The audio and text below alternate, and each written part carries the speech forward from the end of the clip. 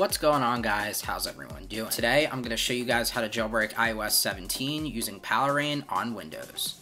So if you want to use this jailbreak, there's a few things you'll need. First up, you'll need a Palera1n compatible iPad as not all iPads or iOS devices are supported with this.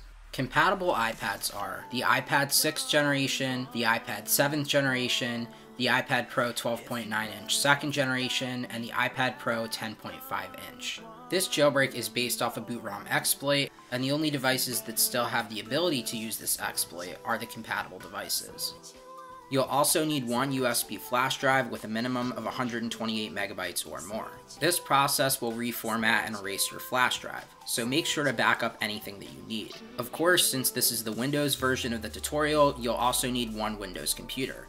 Please be very careful with this process as this could lead to issues with your Windows computer if not done correctly. I mentioned this a few times throughout this video, if you do this process wrong, it is potentially dangerous and you could lose all of your data on your computer. So before you go any further, it may be a good idea just to back up any files you have on your computer. If you have a Mac, I made a separate tutorial for installing Palera1n 17 on Mac and you can find that video in the description or in the cards. The Mac version is much easier. And honestly, I would stay away from this unless you're an advanced user who knows how Windows works. If that's you, then go ahead and plug your flash drive into your computer, make sure to back up anything on it. This step is required if you want your computer to boot properly. Search for device encryption settings inside of system settings. Disable device encryption in settings under privacy and security. This will turn off BitLocker drive encryption and it's a big pain if you have it enabled, so make sure to turn it off. Go ahead and download Rufus. This program allows you to reformat your USB flash drive to boot into Palera1n later.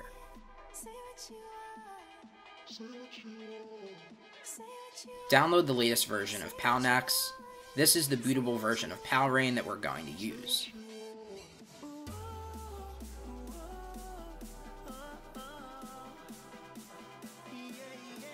Open Rufus and make sure your flash drive is plugged into your computer. Also, under Device, make sure your flash drive is selected. Go to your Downloads folder on your computer and find the Palen1x file. Drag the Palen1x file onto the Rufus window. Click Start, select Write in DD image mode. Make sure all data on your flash drive is backed up before going any further since this will erase it. Once you're ready, click OK. And now it'll go ahead and reformat the flash drive to include the Palen1x file. Once it finishes, the flash drive should now be formatted with Palen1x. Please be careful with the following steps. Do not do this unless you understand Windows and understand what you're doing. Shut your computer down and go into your BIOS settings. These are internal settings on your computer that you're about to change, so please be careful. It may be different for every computer. On a Microsoft Surface, hold down the volume up button and tap the power button once. Throughout the boot process, just keep holding down the volume up button, and eventually it should boot into your BIOS settings. And here we go. Now we have all of this various different PC information, such as your computer's model number and various other different things. For this though, we want to go to security, and under secure boot, we want to change the configuration and disable secure boot. This is where things can get bad unless you're paying attention, so please pay attention. If you don't know what you're doing, changing things around in this menu is dangerous. After you're done using Palen1x, make sure to re-enable Secure Boot before attempting to boot your computer as normal. Disabling Secure Boot is what will allow us to boot into the USB.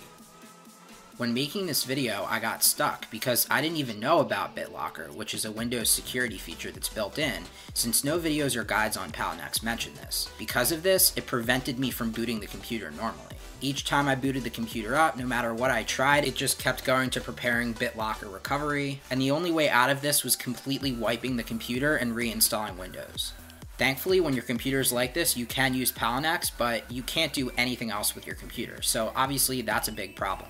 This is why it's super important to only do this if you know what you're doing and turn off BitLocker before you attempt this. With that being said, as long as you did everything right, you can go ahead and reboot your computer. If you see this, make sure your flash drive is plugged in and select USB storage.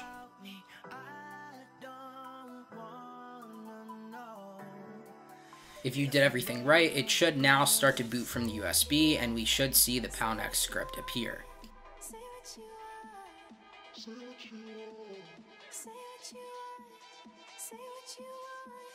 And here we go. Plug your device into your computer. It's recommended that you use a USB-A to lightning cable as a USB-C to lightning cable has issues with DFU mode. Trust your computer on your iPad if you haven't before. Once it recognizes your iPad, it'll boot it into recovery mode. That's normal. From there, follow the directions on screen to put your device into DFU mode.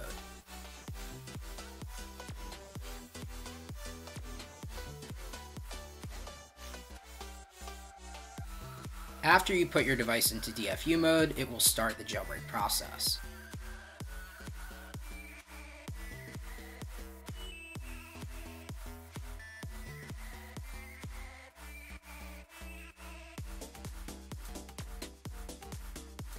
And there you go.